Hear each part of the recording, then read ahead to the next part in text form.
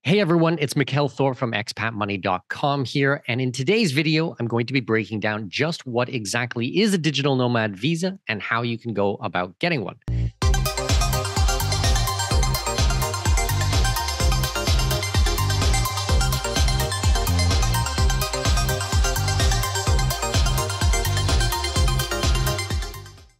Make sure to subscribe to us and turn on notifications. Becoming a digital nomad is a very hot topic right now. And with many jobs going remote in the last two years, workers are becoming more location independent than ever before. This has led to substantial growth in interest in the digital nomad lifestyle. After all, why not enjoy a lower cost of living and the opportunity to experience different cultures and countries? In many ways, becoming a digital nomad is almost like being on a perpetual vacation, alibi, one where you still have to remain relatively productive. At the same time, this raises some interesting legal questions. Where exactly should a digital nomad pay taxes on their income? Do they owe it in the country they are temporarily living in, in their own country? Have they discovered some sort of magical tax loophole? And what about the legal and ethical question of working remotely on a tourist visa? Enter the digital nomad visa, a tool that many countries are ushering in, which serves to answer all of these questions by paving a legal pathway for remote workers and freelancers and digital entrepreneurs to legally come visit and work remotely in a foreign country. So let's dig into some of the basics. First, who exactly is considered a digital nomad? A digital nomad is someone who works remotely and earns their income from their computer. They can be an employee of a company, a business owner, or a freelancer. However, a digital nomad must not be associated with, employed by, or have clients in the country where they hold their digital nomad visa. Second, what is a digital nomad visa? Digital nomad visa is a temporary residency permit for those who earn income working remotely. Typically, these visas last from six months, such as in Iceland, or up to one to two years, but can generally be extended for longer periods of time. This visa allows you to legally reside in a foreign country without changing your employment or job. You can do exactly what you were doing in your home country and continue working remotely. But now you get to travel and explore a whole new country while you do so. Here are a few of the countries currently offering digital nomad visa. Let's start with Costa Rica. This popular expat destination unveiled their digital nomad visa in July of 2022. The application process takes only about two weeks, and you must have an income of at least $3,000 a month or $4,000 a month if you're going with your family. In addition, you are required to have health insurance. The visa will be valid for 12 months and can be extended. The best part, you will also not owe any income tax to Costa Rica for the time you spend working there, which makes this an awesome digital nomad visa. Next is Barbados. If you have to work, why not do it from an island paradise?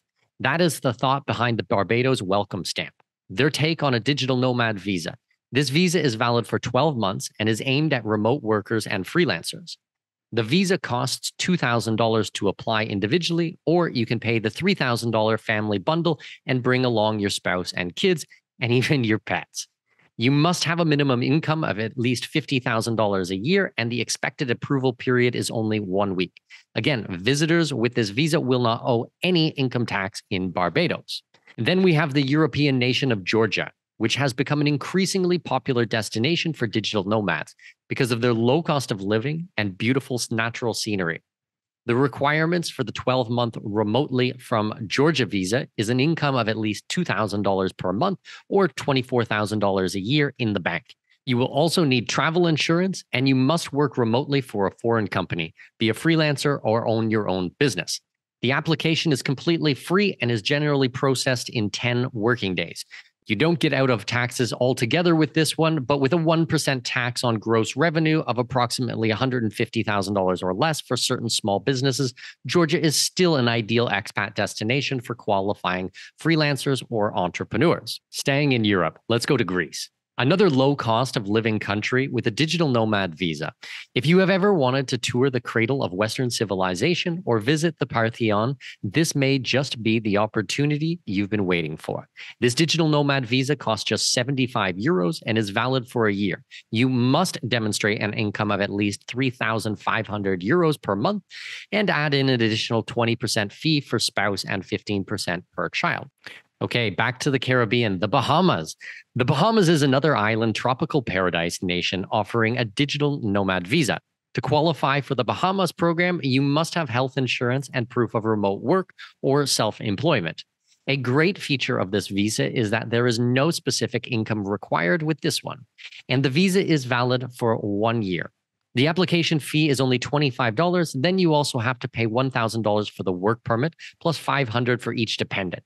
You can expect a turnaround time on your application in as little as 5 business days. The low cost of the application plus the lack of income requirement make this one ideal for digital nomads that are just getting started and don't have as much certainty with their income. Next up is Curacao, which is part of the ABC Islands, Aruba, Bonaire, and Curacao, and is located just north of Venezuela. Curacao has launched the At Home in Curacao program. For just $294, you can get a six month remote work visa with the possibility to extend for another six months. You will have to demonstrate that you have the economic means to support yourself during this stay, and the application should be processed within two weeks. Next, not too far from Curacao, we have Colombia, which is offering a digital nomad visa that started in October of 2022. This visa provides the ability to live in Colombia, work remotely for two years, and serve as an immigration pathway for remote workers. The minimum income requirement is very flexible, and you only have to make $684 a month, but you must also have health insurance. Lastly, we head back to Eastern Europe to look at Latvia's digital nomad visa. Latvia is a relatively small country in Eastern Europe on the Baltic Sea, bordered by Estonia to the north, Russia to the east, and Lithuania to the south. The requirements are an income of at least $2,857 a month and health insurance, as well as proof of employment or self employment. Unfortunately, you cannot bring your dependents along with you on this visa. The process takes approximately two weeks, and the visa is valid for up to a year. You can also renew it for a second year, but after that, you must apply for the temporary residency status. I hope you enjoyed this overview of the digital nomad visa concept, and hopefully, one of these countries has a digital nomad visa that's right for you. As always, make sure to bookmark expatmoney.com, where we will always be keeping you up to date on the latest developments on these and many other types of visas. Also, make sure you subscribe to our YouTube channel for new videos every week.